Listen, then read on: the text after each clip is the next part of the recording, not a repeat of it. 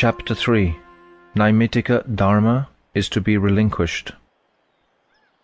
One night, just after ten o'clock, Sanyasi Thakur sat chanting Harinam on a raised mound in a secluded part of his grove within Sri Godruma.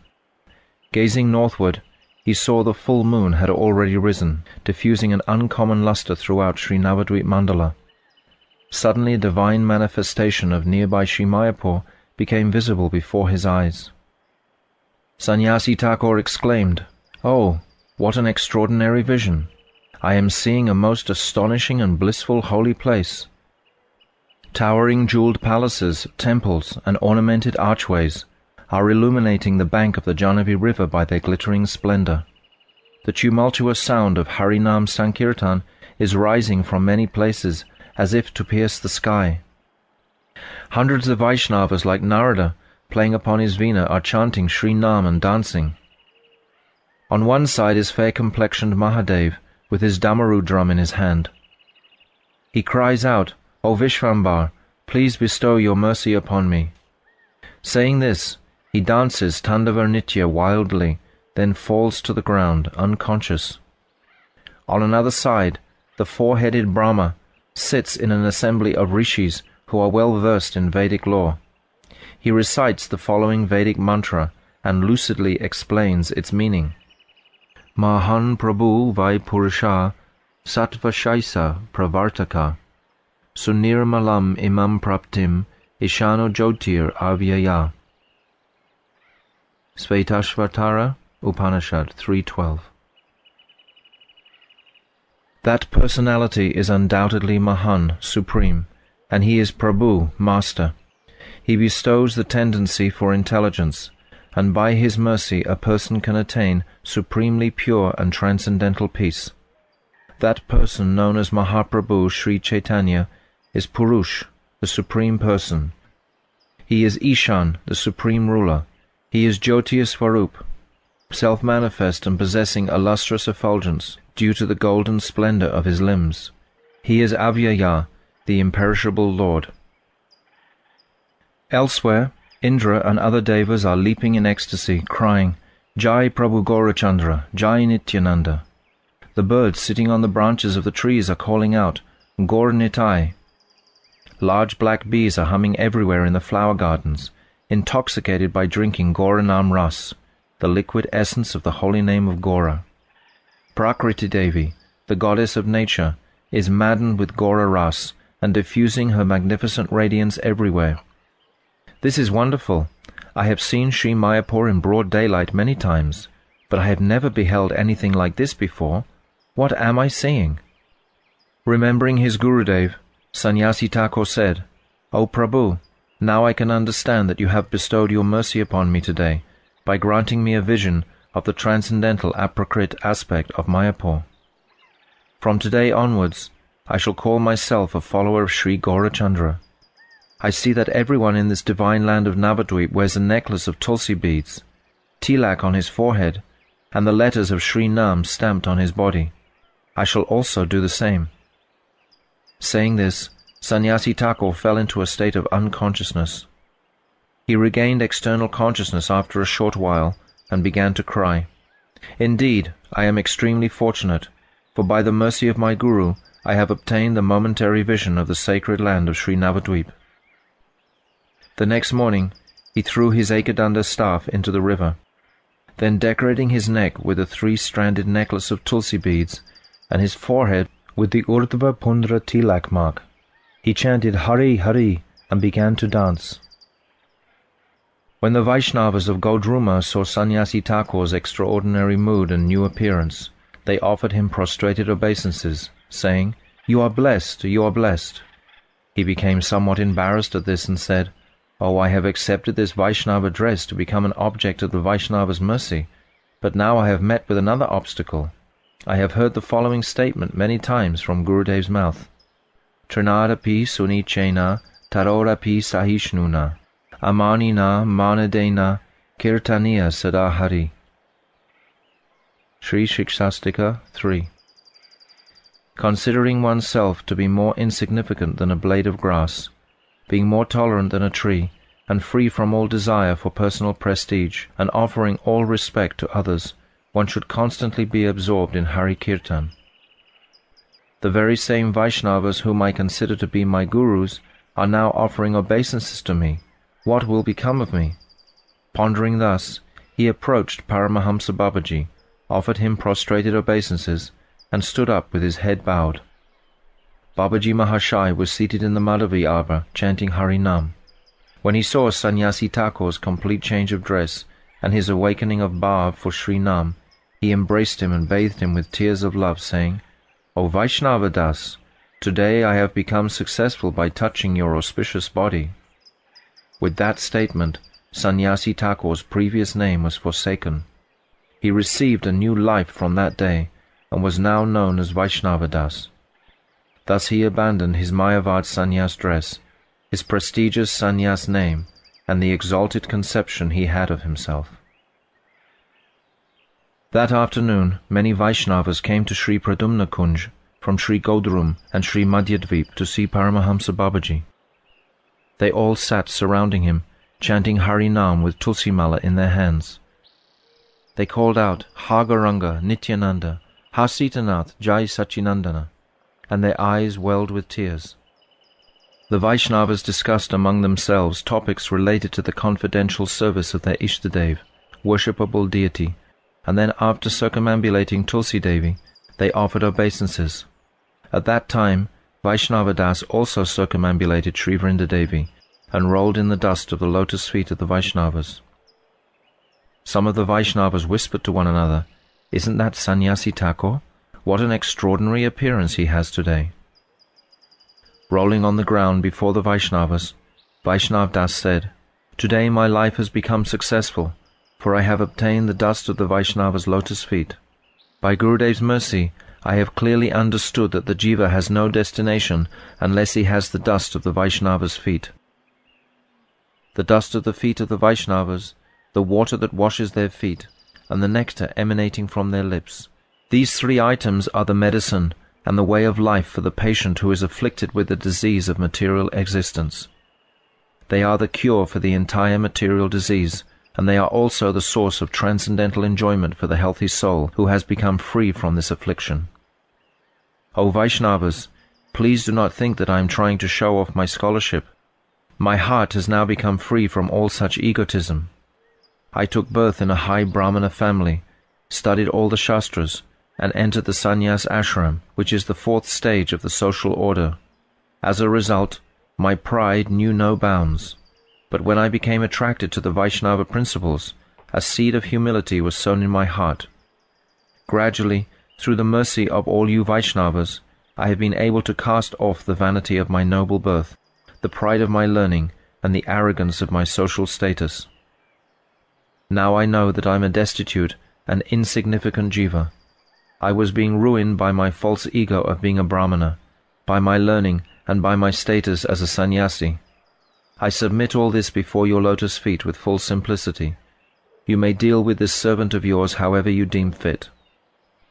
When the Vaishnavas heard Vaishnav Das's humble words, many of them said, O best of sadhus, we are eager to obtain the dust of the feet of Vaishnavas like you. Please bless us with the dust of your lotus feet. You are the object of Paramahamsa Babaji's mercy. Please purify us by making us your associates. The Shastra says that bhakti is obtained through associating with bhaktas like yourself. Bhaktis tu bhagavad bhakta sangena parijayate satsanga prapyate pumbi sukritai purva sanchitai. Brihan Naradiya Purana 433 Bhakti is awakened when one associates with bhaktas of Sri Bhagavan. Association with Shuddha bhaktas is attained only by the accumulation of transcendental pious activities performed over many lifetimes. We had accumulated a sufficient stock of sukriti, pious activities that foster bhakti, and that is how we have obtained your association.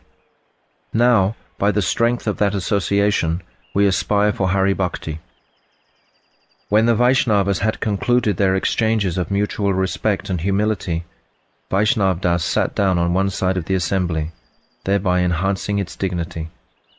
The Harinam Mala looked brilliant in his hands.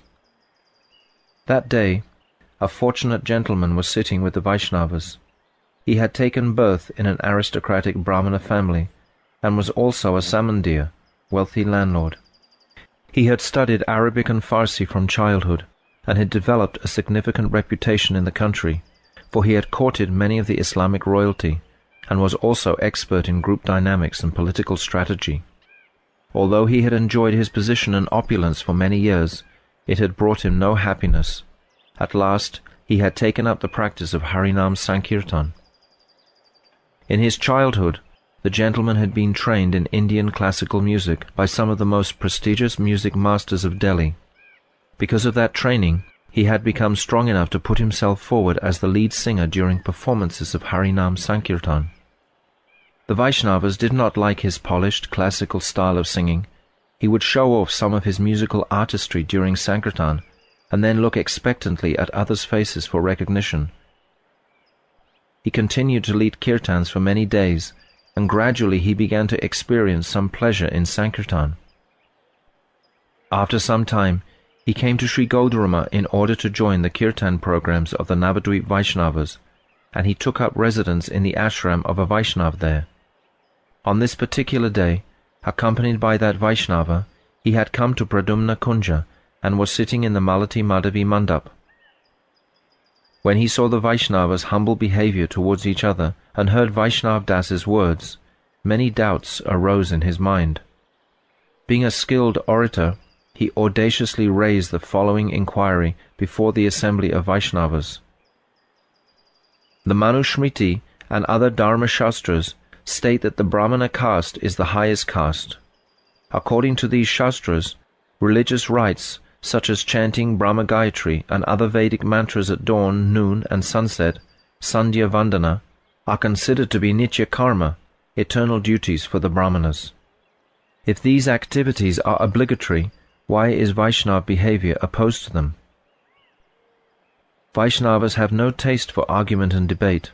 If the question had been put by an argumentative Brahmana, they would not have replied, for fear of becoming embroiled in a battle of words. However, since they saw that the present questioner regularly sang Harinam, they all said, We will be most happy if Paramahamsa Babaji Mahashai answers your question. On hearing the order of the Vaishnavas, Paramahamsa Babaji Mahashai offered obeisances and said, O great souls, if you so desire, the respected Bhakta, Sri Vaishnav Das, will answer this question in full. All the Vaishnavas consented to this proposal. When Vaishnav Das heard the words of his Gurudev, he considered himself most fortunate, and humbly said, I am wretched and insignificant. It is completely inappropriate for me to say anything in such a learned assembly. Nonetheless, I must always bear the order of my Gurudev upon my head. I have drunk the nectar of spiritual instructions flowing from my Guru's lotus mouth. I shall remember that and speak as far as my ability allows. Having smeared his entire body with the dust of the lotus feet of Paramahamsa Babaji, he then stood up and began to speak. Sri Krishna Chaitanya is the source of all different types of expansions and avatars. He is directly Bhagavan himself, full of transcendental bliss. The all-pervading, featureless Nirvishesh Brahma is the effulgence of his limbs, and Paramatma, who resides in the hearts of all jivas, is his partial expansion. May he be pleased to appear in my mind and enable me to answer this question. Manusamhita and other Dharma Shastras are respected throughout the world because they establish the codes and prohibitions that follow the line of thought of the Vedic Shruti Shastras. Human nature has two tendencies in regard to religious pursuit. The first is called Vaidhi, to follow the rules and regulations of Shastra, and the second is Raganuga, to follow the soul's spontaneous attraction towards Sri Krishna. As long as the intelligence is under the control of Maya, human nature must be regulated by rules and prohibitions. Thus, in this condition, the Vaidhi nature will certainly be in effect. When the intelligence is liberated from the bondage of Maya, however, human nature no longer needs to be governed by rules and prohibitions. Rather, it is prompted by spontaneous love. In this condition, the Vaidhi tendency no longer remains, and the Raganuga tendency becomes manifest. This Raganuga tendency is the unadulterated nature of the jiva. It is the perfected state of the self, Svabhav Siddha, transcendental, Chinmaya, and free from bondage to dull matter, Jad Mukta. The pure spiritual jiva's relationship with the material world is completely terminated when Sri Krishna wills. Until this time, the sadhak jiva's relationship with the material world can only tend toward its eventual cessation, Shayan Mukh. During that time, the jiva's intelligence attains freedom from matter to the extent of Swarupata Jad Mukti, but not to the extent of Vastuta Jad Mukti. At the stage of Vastuta Jadamukti, the Ragatmika Vritti, the mood of the Ragatmikas, is awakened in the pure jiva, both in terms of his internal identity, Swarup, and constitutional state, Vastu. This Ragatmika Prakriti is the nature of the eternal residence of Braj. The Sadhak Jiva in the Shayanmukh stage becomes a Raganuga by following the service of the Brajabasis. He then receives many different spiritual graces and progresses very quickly. This condition of Raganuga should be ardently sought after by the jivas. Until the jiva comes to this point, his intelligence is always attached to this material world. Because the conditioned jiva is in contact with Maya, his inherent nature changes. In his bewildered condition, he has no pure, natural attachment for spiritual objects and due to his falsely acquired nature, nisarga, he mistakenly thinks that his attachment for mundane objects is his natural spiritual attachment. The conceptions of I and mine are two types of egoism whose influence is very prominent in the mundane sphere, and which lead one to think, I am this body, and all things relating to this body are mine.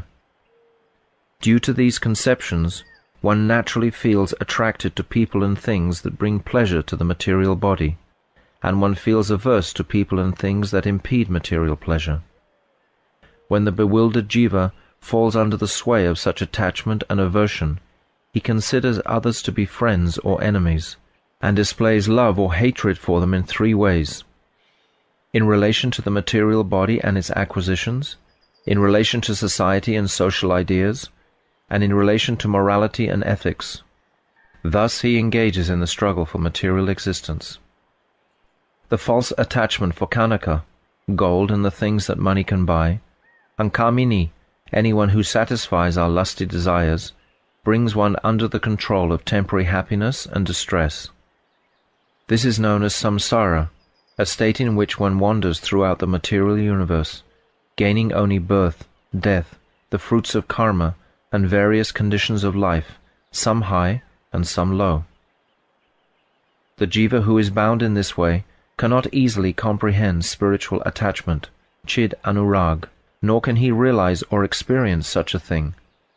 In reality, this spiritual attachment is the jiva's true function, swadharma, and his eternal nature. However, he forgets this and becomes engrossed in attachment to matter although he is actually a particle of consciousness. Thus, he suffers degradation. This is a miserable condition, although hardly any of the jivas who are thus entangled in samsara think so. The jivas bound by Maya are wholly unacquainted with the Raganuga nature, to say nothing of the Ragatmika nature. The Raganuga nature may be awakened in the hearts of the jivas, but only occasionally by the mercy of sadhus. Consequently, this Raganuga nature is rare and difficult to obtain, and those who are entangled in samsara are cheated of it by Maya. Bhagavan, however, is all-knowing and merciful. He saw that the jivas who are bound by Maya have been cheated of their spiritual inclination. Now, how will they attain good fortune? By what means can remembrance of Krishna be aroused in the hearts of the jivas who are enthralled by Maya? They will only be able to understand that they are servants of Krishna if they associate with sadhus, but there is no specific rule that one must associate with sadhus, so where is the hope that everyone may easily attain sadhusanga, the association of saintly devotees? Consequently, there can be no auspiciousness for people in general without the path of rules and regulations, vidhi marg. The Shastras were manifested from this merciful consideration of Sri Bhagavan. Issuing forth by his mercy, the sun of the Shastra arose in the sky of the hearts of the ancient Aryan rishis and illuminated all the injunctions and rules to be followed by the populace. In the beginning was the Veda Shastra. In some places it teaches pious activities directed towards the attainment of material fruits, karma. In other places it teaches knowledge directed towards liberation, Gyan, and elsewhere it teaches devotion with love and affection for Bhagavan, Priti Rupa Bhakti. The jivas who are infatuated with Maya are found in many different conditions. Some are completely stupefied, some have a little knowledge, and some are knowledgeable in many subjects. The Shastra provides different types of instructions that are consistent with the different mentalities of the jivas. This differentiation is known as adhikar, eligibility. There are countless individual jivas, and they have innumerable varieties of adhikar, which have been divided into three broad categories according to their primary characteristics. Karma adhikar, eligibility for pious action leading to material gain. Gyan adhikar, eligibility for knowledge leading to liberation. And Prem adhikar, eligibility for unalloyed loving service to Bhagavan. The Veda Shastra specifies these three types of eligibility and establishes proper codes of behavior for those in each of the three groups. The Dharma that the Vedas have thus prescribed is known as Vaidha Dharma. The tendency by which a person is compelled to adopt this Vaidha Dharma is known as Vaidhi Pravritti the proclivity to follow the religious codes of Shastra. Those who are altogether lacking in the tendency to follow the rules of Shastra are thoroughly avaida, opposed to the injunctions of Shastra. They are engaged in sinful activities, and their lives are given over to actions that defy the regulations of Shastra, avaida karma. Such people are excluded from the jurisdiction of the Vedas and are known as mlechas, people belonging to an uncivilized non-Aryan race. The duties of those in the three eligibility groups outlined in the Vedas have been described still more elaborately in the Samhita Shastras of the Rishis, who compose numerous Shastras that follow the tenets of the Vedas. The duties of those eligible for karma are described in twenty Dharma Shastras, compiled by Manu and other Pandits. The duties of those who are eligible for Gyan are described in the Shastras dealing with logic and philosophy, compiled by those who knew the different philosophical systems. And finally, the instructions and activities for people eligible for bhakti have been determined by those who are learned in the Puranas and pure Tantras. All these literatures are known as Vedic because they are in keeping with the Veda. Modern day pseudo philosophers of these Shastras without a view to the underlying purport of all the Shastras, have tried to establish the superiority of only one of its limbs. This has cast innumerable people into a pit of argument and doubt. Bhagavad Gita, which is the matchless deliberation on all these Shastras, clearly establishes that karma not aiming at Gyan is atheistic and should be rejected. Karma Yoga and Gyan Yoga that are not directed towards bhakti are also cheating processes. In reality, Karma Yoga, Gyan Yoga, and Bhakti Yoga form a single yoga system. This is the Vedic Vaishnava Siddhanta conclusion. The jiva who is bewildered by Maya is first compelled to adopt the path of karma. Then he must adopt Karma Yoga, followed by Gyan Yoga, and finally Bhakti Yoga. However, if he is not shown that all these are but different steps on the one staircase, the conditioned jiva cannot ascend to the temple of bhakti. What does it mean to adopt the path of karma? Karma consists of the activities that one performs with the body or mind in the course of maintaining one's life. There are two types of karma, auspicious, shubha, and inauspicious, ashubha. The results that the jiva obtains by performing shubha karma are auspicious, whereas those that he obtains from Ashubha karma are inauspicious. Ashubha karma is also known as sin, pap, or prohibited acts, vikarma. The non-performance of Shubha karma is known as akarma. Both vikarma and akarma are bad, whereas Shubha karma is good. There are three types of Shubha karma. Obligatory daily rites, nitya karma, circumstantial duties, naimittika karma, and ceremonies performed out of a desire for personal benefit, kamya karma. Kamya karma is completely self-interested and should be rejected. The Shastras direct us to adopt Nitya karma and Naimittika karma. The Shastras have considered what is fit to be taken up and what is fit to be abandoned, and they have classified Nitya karma, Naimittika karma, and Kamya karma as karma, whereas Akarma and Kukarma, impious activity, have not been included in this category. Although Kamya karma is counted as karma, it is undesirable and should be given up. So only Nitya karma and Naimittika karma are truly accepted as karma. Nitya karma is karma that produces auspiciousness for the body, mind, and society, and which results in promotion to other planets after death. Everyone is obligated to perform Nitya karma, such as chanting the Brahma Gayatri mantra at the three junctions of the day, Sandhya Vandana, offering prayers, using honest means to maintain one's body and society, behaving truthfully, and caring for one's family members and dependents. Naimittika karma is karma that one must carry out under certain circumstances or on certain occasions. For example, performing rites for the departed souls of one's mother and father, atoning for sins, and so on.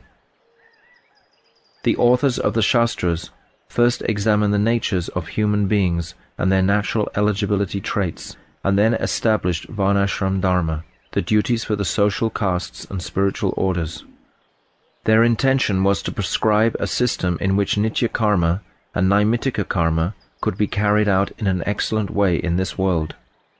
The gist of this arrangement is that there are four natural types of human beings, classified according to the work that they are eligible to perform. Brahmanas, teachers and priests, Kshatriyas, administrators and warriors, Vaishyas, agriculturalists and businessmen, and Sudras, artisans and laborers. People are also situated in four orders or stages of life, which are known as ashrams. Brahmachari, unmarried student life. Grihasta, family life. Vanaprastha, retirement from family responsibilities. And sannyas, the renounced ascetic life. Those who are fond of akarma and vikarma are known as antyaja, outcast, and are not situated in any ashram. The different varnas are determined by nature, birth, activities, and characteristics. When varna is determined only on the basis of birth, the original purpose of varnashram is lost. Ashram is determined by the various stages of life depending on whether one is married or unmarried, or has renounced the association of the opposite sex. Married life is known as the Grihasta ashram, and unmarried life is known as the Brahmachari ashram. Disassociation from spouse and family is characteristic of Vanaprastha and Sannyas ashram. Sannyas is the highest of all the ashrams, and the Brahmanas are the highest of all the Varnas. This conclusion is established in the crest jewel of all the Shastras, Srimad Bhagavatam, 11.17, 15 through 21. Varnanam ashramanam cha, janma bhumya nusharina, asan prakritayo nirnam, nicher nicho tamotamaha. The varnas and ashrams of humanity have higher and lower natures in accordance with the higher and lower places on Sri Bhagavan's universal body from which they have appeared. Shamodama stapasocham, shantosha shantir arjavam, madbhaktischa dayasatyam, brahma prakritayastvima. The natural qualities of the Brahmanas are control of the mind, control of the senses, austerity, cleanliness, satisfaction, forbearance, simplicity, devotion unto Sri Bhagavan, compassion for the suffering of others, and truthfulness. Tejo balang driti soryam, titik shaudaryam udyama, shtayam brahmanyam aishvaryam, chatra prakritayastvima. The natural qualities of the Kshatriyas are prowess, bodily strength, fortitude, heroism, tolerance, generosity, great perseverance, steadiness, devotion to the Brahmanas, and sovereignty. Ashtikyam dana nishtacha, adambo brahma sevanam, atustir arta parchaye, vaisha prakritayastvima. The natural qualities of the Vaishyas are theism, dedication to charity, freedom from pride, service to the Brahmanas, and an insatiable desire to accumulate wealth. Shushrusanam dvijagavam, devanan chapyamayaya, tatra labdena santosha, shudra prakritayastvima. The natural qualities of the Shudras are sincere service to the Devas, Brahmanas, and cows, and being satisfied with whatever wealth is obtained by such service. Asocham anritam steyam, nashtikyam shuksha vigraha, kama krodas chatarascha, sa bhavantya vasayinam.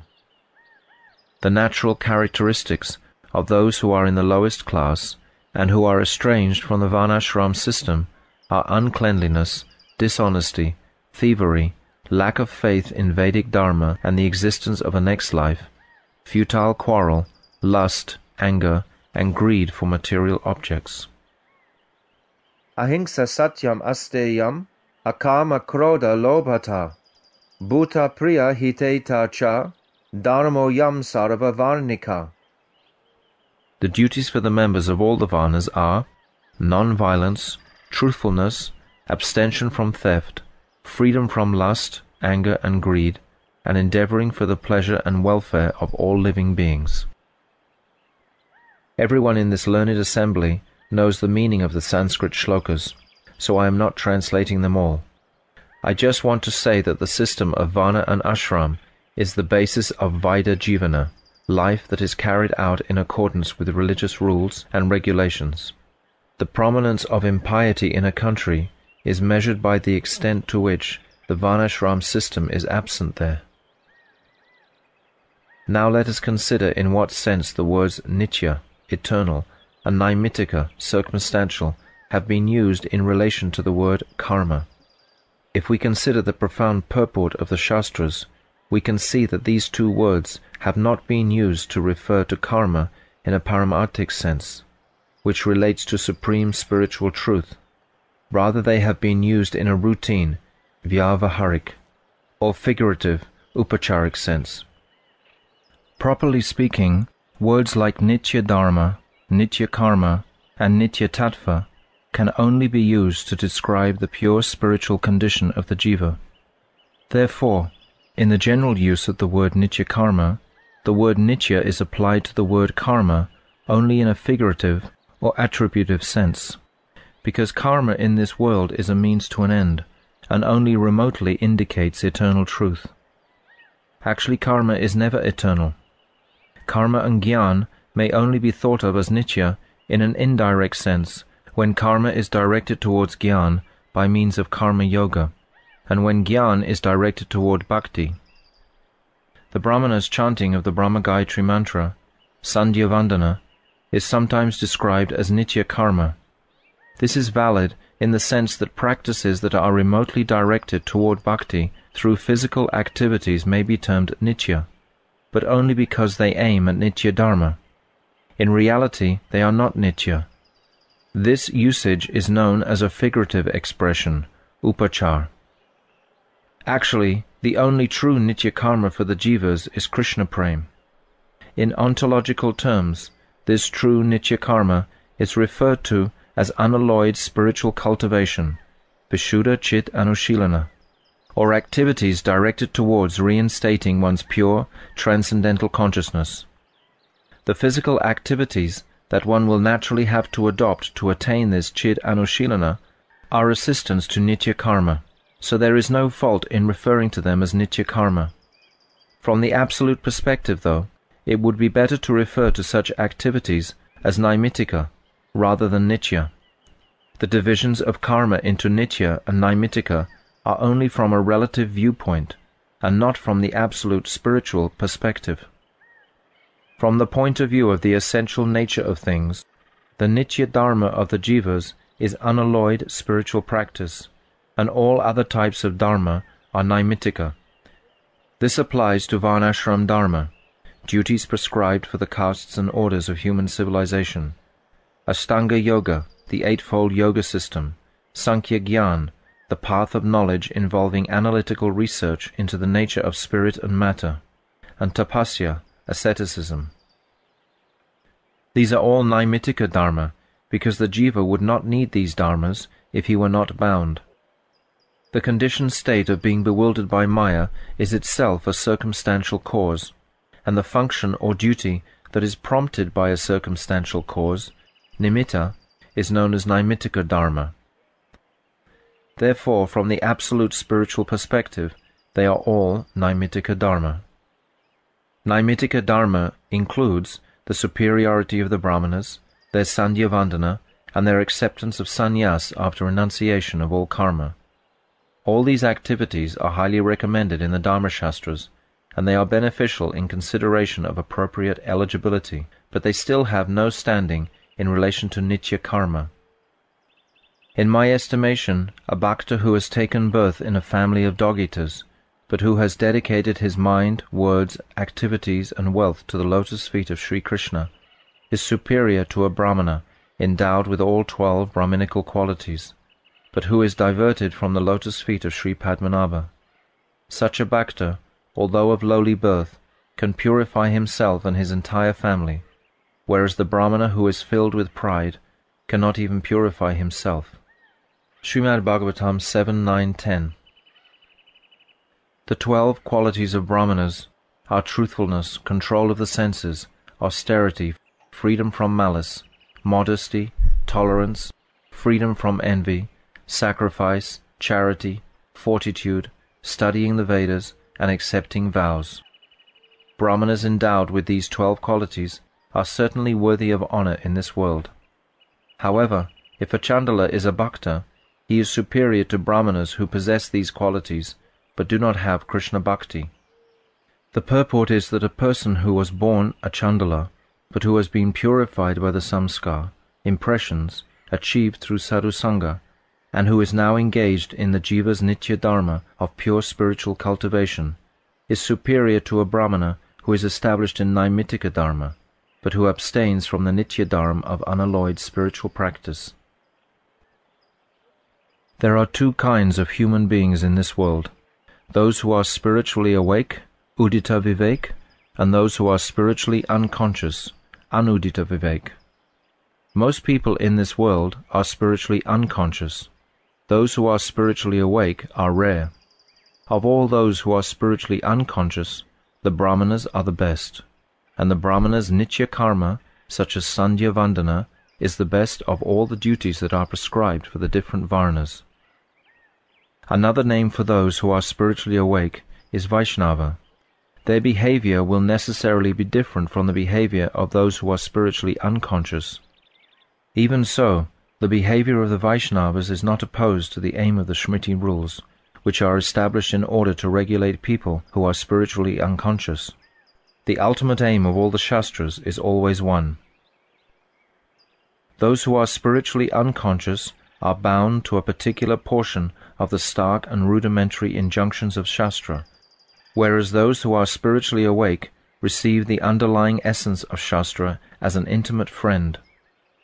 These two groups of people perform different activities, but their aim is the same. Ineligible people may think that the behavior of those who are spiritually awake is opposed to the behavior of people in general.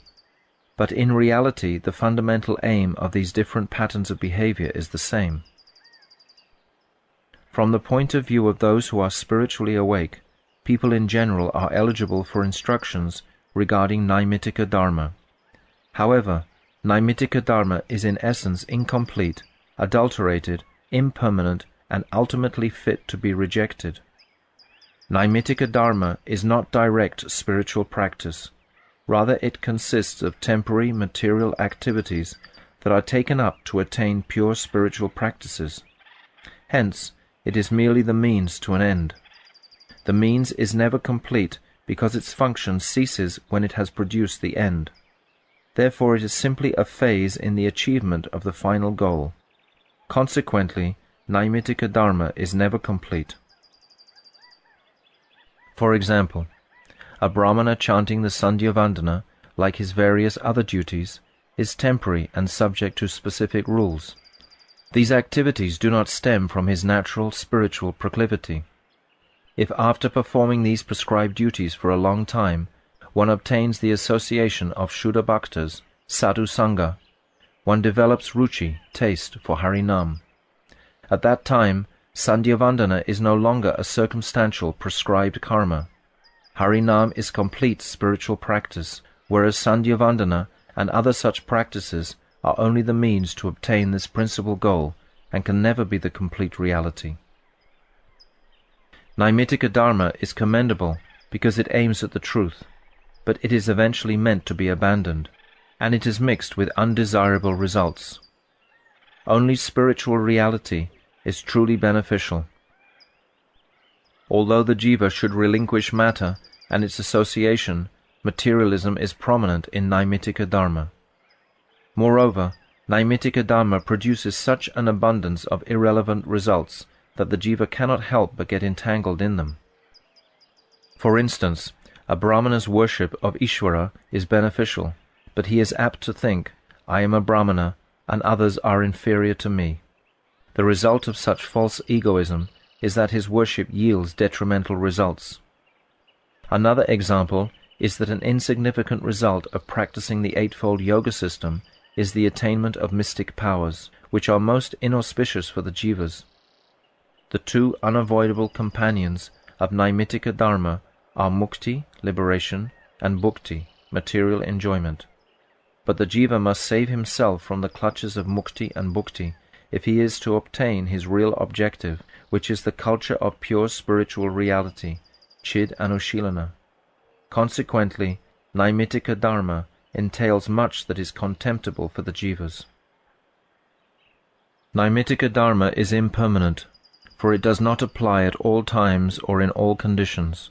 For instance, a Brahmana's priestly duties, a Kshatriya's administrative or military duties, and other such circumstantial occupations are brought about by a particular cause, and they cease when the cause ceases. If a Brahmana takes birth as a Chandala in his next life, the Brahminical occupational duties are no longer his swadharma. I am using the word swadharma, own duty, in a figurative sense here. The Naimittika swadharma of the jiva changes in every birth, but his nitya dharma never changes. The jiva's true swadharma is nitya dharma, whereas Naimittika dharma is impermanent. One may ask, what is Vaishnava dharma? The answer is that Vaishnava dharma is the jiva's nitya dharma. When the Vaishnava, the jiva, is liberated from matter, he nurtures Krishna Prem in his pure spiritual form. Before that stage, when the Vaishnava is still materially bound, although spiritually awakened, he only accepts objects and association that are favorable for his spiritual practice, and he rejects all that is unfavorable. Thus he never adheres blindly to the rules and prohibitions of the Shastras. He accepts the instructions and prohibitions of the Shastras graciously, but only when they are favorable to his practice of Hari Bhajan. When they are unfavorable, he immediately rejects them. A Vaishnava is the world's only true friend, and he renders auspiciousness for all jivas of the world. Now I have humbly submitted whatever I had to say today in this assembly of Vaishnavas. Kindly excuse my faults and any offences. Having spoken thus, Vaishnav Das offered sashtang pranam to the assembled Vaishnavas and sat off to one side. By this time, the eyes of the Vaishnavas had filled with tears, and they all exclaimed in unison, Well done, well done, blessings upon you. The groves of Godruma echoed these words in response. The Brahmana singer who had asked the question could see the profound truth of many of the topics presented in the discussion. Some doubts had arisen on certain points, but the seed of faith in Vaishnava Dharma had been significantly nourished in his heart. He folded his hands and said, O great souls, I am not a Vaishnava, but I am becoming a Vaishnava by continuously hearing Harinam. If you will kindly instruct me, all my doubts may be dispelled. Sri Prem Das Paramahamsa Babaji Mahashai said kindly, From time to time you may associate with Sriman Vaishnav Das. He is a scholar who is learned in all the Shastras. Previously he lived in Varanasi, where he accepted sannyas after studying the Vedanta Shastras deeply. Sri Krishna Chaitanya, who is the dearmost Lord of our hearts, displayed unlimited mercy and attracted him here to Sri Navadvip. Now he is fully conversant with all the truths of Vaishnava philosophy, and he has also developed profound love for Harinam. The man who had asked the question was named Sri Kalidas Lahiri. On hearing Babaji Mahashai's words, he accepted Vaishnav Das within his heart as his guru. He thought Vaishnav Das was born in a Brahmana family, and he accepted the sannyas ashram, so he is fit to instruct a Brahmana. Besides, I have witnessed his extraordinary scholarship in the Vaishnava truths. I can learn much about Vaishnava Dharma from him. Thinking in this way, Lahiri Mahashai offered Dandavat Pranam at Vaishnav Das's lotus feet, and said, O great soul, kindly bestow your mercy upon me. Vaishnav Das offered Dandavat Pranam to him in return and responded, If you bestow your mercy upon me, I will be fully successful. As evening drew near, everyone returned to their respective places. Lahiri Mahashai's house was in a grove in a secluded area of the village. In the centre of the kunja was a natural awning of Madhavi creepers and a raised platform for Tulsi Devi. There were two rooms, one on either side of the kunja. The courtyard was enclosed with a trellis of chitta plants, and its beauty was enhanced by many trees such as bale, neem, and other trees bearing fruits and flowers. The owner of that grove was Madhava Das Babaji. At first, Madhavadas Babaji had been a man of spotless virtue, but immoral association with a woman had blemished his Vaishnav character and was curtailing his practice of bhajan. He was quite impoverished and was meeting his expenses with difficulty by begging at various places and by renting out his extra room, which Lahiri Mahashai was occupying. That night, Lahiri Mahashai's sleep was broken at midnight. He had begun to contemplate the essential meaning of what Vaishnav Das Babaji had explained when he heard a sound outside. As he came out of his room, he saw Madhava Das Babaji standing in the courtyard and speaking with a woman.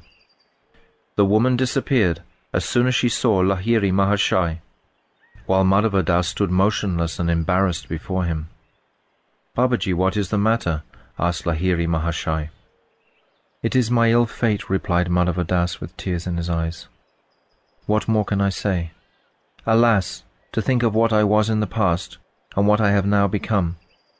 Paramahamsa Babaji Mahashai had so much faith in me. Now I am ashamed to go before him. Please tell me clearly so that I can understand, Lahiri Mahashai requested. Madhava Das replied, The woman you just saw was my wife when I was a householder. Shortly after I accepted the renounced life of a Babaji, she went to Sripat Shantipur, where she built a hut and began to reside on the bank of the Ganga. After many days had passed, I happened to go to Sri Pat Shantipur and saw her there. I asked her, Why did you leave your household? And she explained, Family life no longer appeals to me, since I am deprived of the service of your feet. I have taken up residence in this tirtha, holy place, and I can sustain myself by begging alms. I returned to Godruma without saying another word to her. After some time she also came to Godruma and took up residence in a cowherd's house. I used to see her here and there every day, and the more I tried to avoid her, the closer she drew to me. Now she lives in an ashram that she has built here, and she tries to ruin me by coming here late at night. My bad reputation has spread everywhere, and my practice of bhajan has deteriorated sorely through my association with her. I am a disgrace to the family of the servants of Sri Krishna Chaitanya. I am the only person since the time of Chota Haridas's chastisement who deserves punishment. Because of their compassion, the Babajis of Sri Godruma have not yet chastised me, but they no longer have any faith in me. When Lahiri Mahashai heard these words, he said, Madhavadas Babaji, please be careful, and returned to his room. Babaji went and sat on his seat. Lahiri Mahashai could not sleep. Again and again he thought, Madhavadas Babaji has fallen down by entering householder life again, after he has formally renounced it. It is not appropriate for me to stay here any longer. Even if it does not lead me into bad association, it will certainly spoil my reputation, so that the pure Vaishnavas will no longer instruct me with confidence. Early the next morning, he went to Pradyumna Kunja, greeted Sri Vaishnav Das with due respect, and asked for a place to stay in the Kunja. When Vaishnava Das informed Paramahamsa Babaji Mahashai of this news, Babaji gave instructions that he should be given a place to stay in a kutia on one side of the kunja. From then on, Lahiri Mahashai lived in that kutia and arranged to obtain prasad at the house of a brahmana who lived nearby. Thus ends the third chapter of Jaiva Dharma, entitled Naimitika Dharma is to be relinquished.